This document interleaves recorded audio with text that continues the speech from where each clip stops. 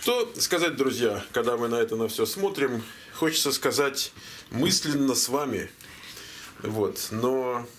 Только мысленно не получается. Да, только мысленно. Нет, ну я вот э, так вот это покажем тут вкусненько. А вкусно вот там кто пробует-то? Oh, yeah. Очень. Ой, я. Очень. Студенты, видишь они что? Они, наверное, думают, сейчас мы надо им принести тортик, чтобы они уже конкурентов нам не плодили. Вот. Вот. Дальше этого не пошло бы. Так, а вы не кушаете тортик, что ли? Но вы будете? Попозже. Попозже. Полник. Ну, хорошо.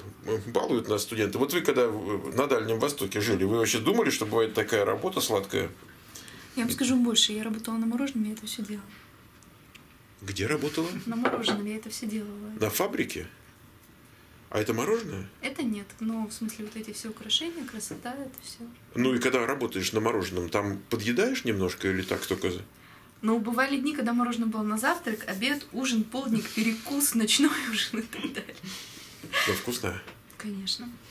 Ну ладно. В общем, друзья, совершенно не обязательно приезжать в Соединенные Штаты, чтобы вот кушать вот такое на завтрак, обед и ужин. Работаете на фабрике мороженой, и, и, и все у вас будет в жизни. И не захочешь никуда эмигрировать. Вот.